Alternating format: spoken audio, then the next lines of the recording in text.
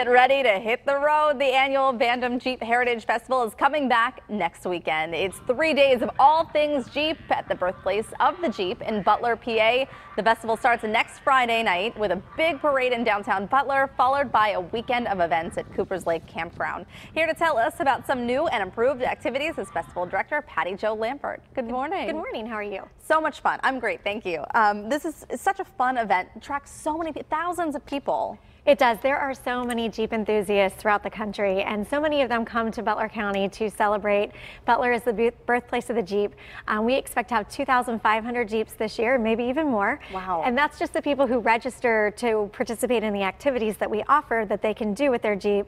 So there's many, many, many more who come out to visit all the vendors who come to sell all the great Jeep parts and accessories as well. So new Jeeps, old Jeeps, Jeeps in between? You can see pretty much every single Jeep from the last more than 70 years since Jeep has existed, since 1940. So pretty much every single Jeep that was ever made you can see at the event. Okay, so let's talk about Friday night. What happens there? It starts with a parade. Well, actually, this year is our Jeep Invasion. So we do our parade every couple years. Um, this year's the Jeep Invasion Street Party. So um, we'll start things out at Coopers Lake Campground during the day on Friday, Saturday, and Sunday. But then Friday night, we go down into downtown Butler. We park 1,200 Jeeps on Main Street. Wow. And we have DJs and food vendors, and it's free to attend. And um, we have just so many people there. It's just a great time. Look at that. Fantastic stuff there.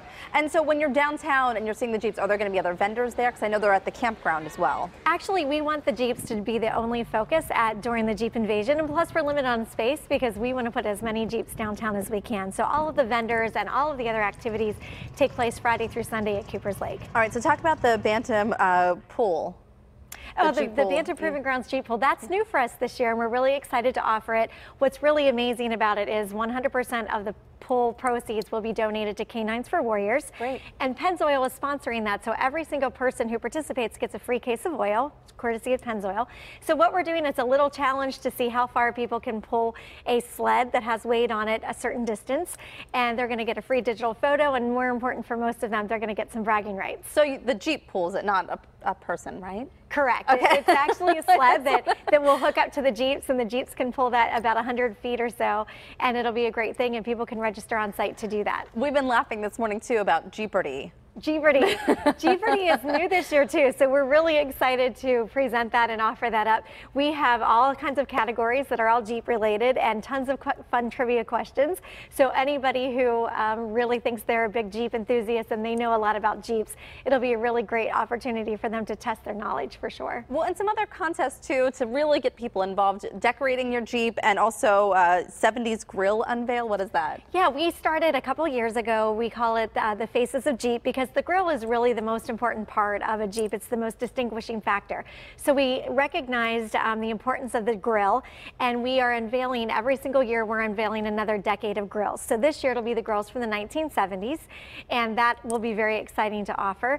And then decorate your Jeep. You know, we have noticed that people love to put Jeeps in parades mm -hmm. and when they do that they love to decorate them. So whether it's a Halloween parade or a Christmas parade or a Memorial Day parade, people love to deck out their Jeeps. So we decided to create a whole new event just for those people this year. So we'll be offering that on Friday. So there is a lot if you are in the Jeep community already, if you love your Jeep, you probably know about the festival. If you don't, what's the reason to come? Well, there's so many things to see and do. One, once again, is all the Jeep history that we talk about. Mm -hmm. In, in our Jeep history exhibit, we'll be showcasing Jeeps from the 1970s. So there'll be about 18 rare and unique Jeeps in that exhibit. And the owners of the Jeeps are there and they love to talk to people about how they restored their Jeep or how they bought their Jeep and all the different things that they did with that. Um, we also have some great things to do if you don't own a Jeep. Um, you can test drive a Jeep. Um, oh, Diehl. Automotive Group has Ride with a Guide and they will actually let you take one of their Jeeps out on a stock trail and you can drive it and go off-road and experience so that whole Jeep lifestyle. Um, we have a new activity called the Roxor, which is a side-by-side -side UTV vehicle. That'll be there for people to test drive. And we have the Jeep Playground and Obstacle Course that I know you showed some footage of that. Right. It is so much fun to sit there and watch the Jeeps go through the mud pit, watch them on the obstacles, and it's just a great time for people to sit and watch and see what all there is. Well, also I love to kind of the, if, maybe you're loving the event, loving the weekend, but you guys also give back. We sure do, and that's a very important part of our organization, which is called Friends of the Bantam Jeep Association. Our group was formed in 2015, and we um, own and execute the festival. Last year, we gave $30,000 to about 20 nonprofit organizations in Butler County, and we also gave about $20,000 to other nonprofit groups who actually help us execute the event. That's great. So it's really important for our our committee, our volunteers to give back to the community, and we're so happy that the event is successful enough that we can do that. All right. Well, thanks so much for coming on. Fingers crossed for some good weather, but I guess a little mud doesn't hurt. A little right? mud makes everybody a little more happy. All right. Thank you so much for coming on this morning. And again, the Bantam Jeep Heritage Festival is back June 8th through the 10th in Butler. Look for the full schedule of all the events online. You'll find the link at kdka.com slash PTL.